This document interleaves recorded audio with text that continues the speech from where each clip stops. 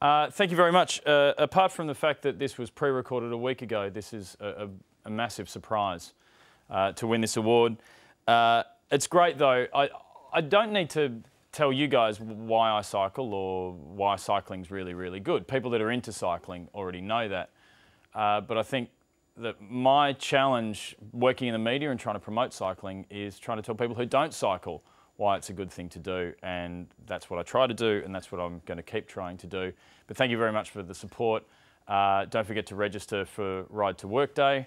Uh, I'm an ambassador, get involved, tell people about it. And that's a very simple way that we can spread the message that cycling is a, a great way to improve fitness and commuting in this country. So thank you very much. Have a great night. I'm sorry I can't be there, but uh, rest assured that this very dangerously shaped object will take pride of place on my mantelpiece. Thank you very much.